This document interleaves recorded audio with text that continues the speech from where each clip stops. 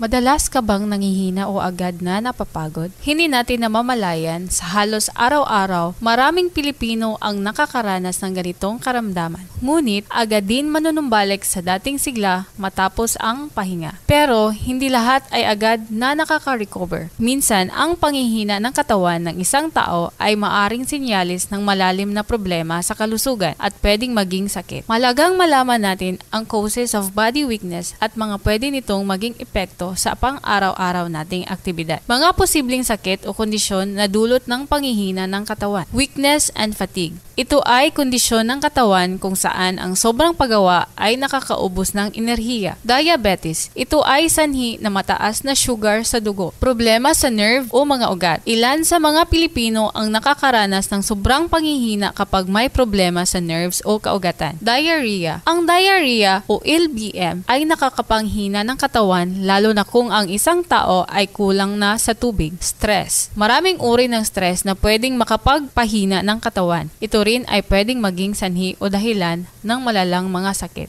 Malnutrition. Ang kakulangan ng sustansya ng kinakain ay hindi lamang nangyayari sa mga bata. Anemia. Ang pagkakaroon ng anemia ay kadalasang nagiging sanhi ng pangihina ng katawan at mabilis na pagkapagod. Narito naman ang tips para lumakas ang pangangatawan mo. Kumain ng maberdi at mapupulang pagkain tulad ng gulay, carrots, kalabasa at kamatis. Mag-ehersisyo pero huwag sobra. Ayon sa isang pagsusuri, mas kaunti ang pagkakasipon kapag regular ang pag-ehersisyo. Mag-relax at magpahinga. Mag-aral ng iba't ibang paraan para mag-relax. Pwede ang yoga, masahe, meditation at pagbabakasyon. Magkaroon ng kaibigan o kapamilya na susuporta sa iyo. Malaki ang maitutulong niyan sa pag-iwas ng sakit. Matulog. Kapag may sakit na, kailangan ng katawan ang pahinga. Ang mahimbing na tulog ay talagang nagpapalakas ng ating katawan. Dito inaayos ng ating katawan ang mga nasirang silyula. Huwag masyadong magpaaraw. May tulong ang kaunting araw sa paggawa ng vitamin D sa katawan. Uminom ng 10 basong tubig. Basta may sakit, kailangan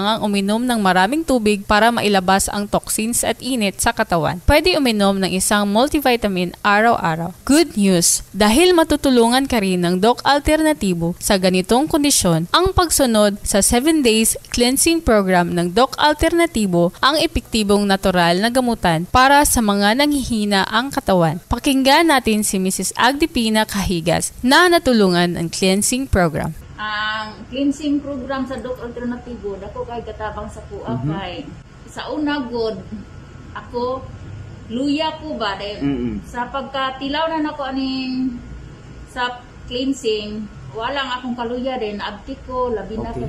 labi na sa pulbit nga magsige kog tumar kada adlaw Ah, sa una dako kay kausaban sa wala pa ko nag-cleansing kay karong nag-cleansing nako dili na nako bation ang hangak nga nang maglakaw Wow. bakilid Mhm. antik na tamulakaw Mm-mm. dahil ang atong pagbawas pana di, dili na kay sa una tagtagutlo ka adlaw di pa kabawas karon normal na kada adlaw magbawas usahay ka duha Okay. usahay ka isa ra pod Okay. Ah, akong kaistorya katong wala pa daghang karong ilang ipamati din wala pa sila nakakita og insaktong tambal Mhm. kinahanglan ahwagon ta mo nga duol mo sa Doc Alternatibo diri sa Ipil branch aron masulayan ninyo ang ilang serbisyo pares nako nga nakasulay nako sa ilang serbisyo nagpalit ko sa ilang mga produkto Ah, ako si Agripina Kahigas nagpanigon og 600 61 dayon taga Barangay Palmira Artilin Sambuanga Sibugay Para ma-avail ang services na ito, bisita sa pinakamalapit na Doc Alternatibo sa inyong lugar. Tumawag o mag-text sa 09469673 211. Ito sila Arnie Galvez para sa Balitang Pangkalusugan.